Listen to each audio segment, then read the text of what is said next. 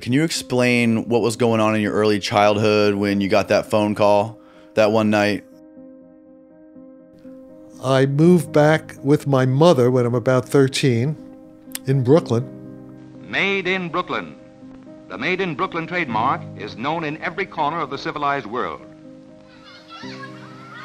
And uh, the phone rings, and I pick up the phone, and I hear, uh, you know, first, you know, I can hardly I hear just like, you know, like coordinates, you know, like numbers, like seven, six, uh, yeah, but in a strange voice, and, but very low. And then, and I'm trying to listen, I don't quite, you know, can't get it.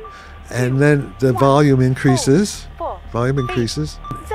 Then Stephen Hawking. I am a computer on board a spacecraft orbiting Earth. We are from the future. We are contacting 400 receptive young minds who we can teach our technology to.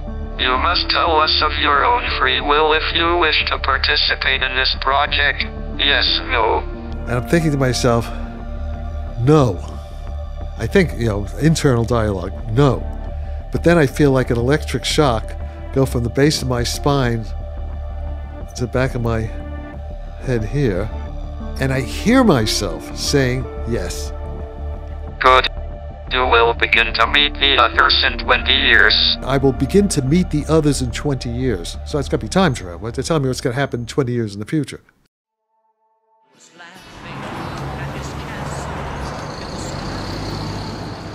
It's Sunday morning. Sharon's mother brings in the San Francisco Chronicle Sunday paper. I open up the San Francisco Chronicle magazine section, and there's a big multicolor major spread on Stanford Research Institute testing Uri Geller for his paranormal powers. With Uri Geller, this is Edgar Mitchell, who, with his eyes covered, is trying to pick up the number that Geller is sending. Also, we see Wilbur Franklin of Kent State, Harold Puthoff, and Russell Targ of SRI, along with Don Schuich, Vice President for Research at SRI. So I say, hi, this is weird, you know. So Monday morning comes, and I say, I got to call these guys. Get on the phone, call the Stanford Research Institute. Brendan O'Regan gets on the phone and says, Ah, Dr. Sarfatti, we were hoping you would call.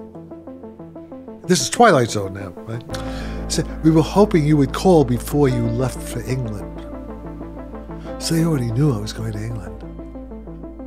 Okay? Whoa. Okay? And they said, could you just drive up? They knew where I was. Yeah, not far from uh, this car. It's an hour and a half.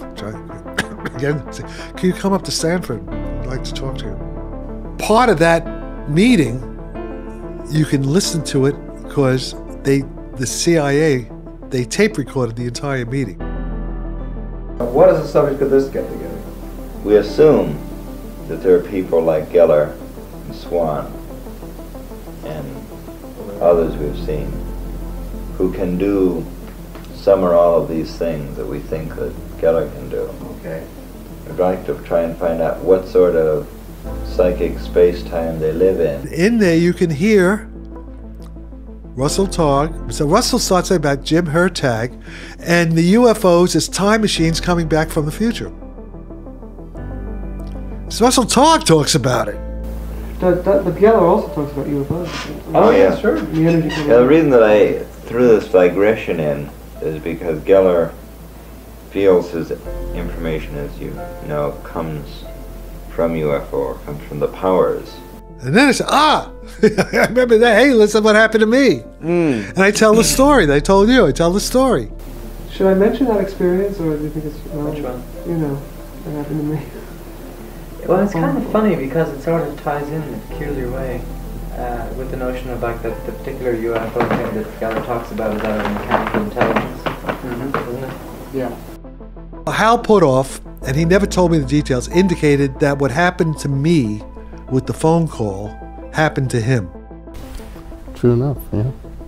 And Brendan O'Regan says, Oh, yeah, we have data, several hundred cases of kids. We have data on that. We know about this.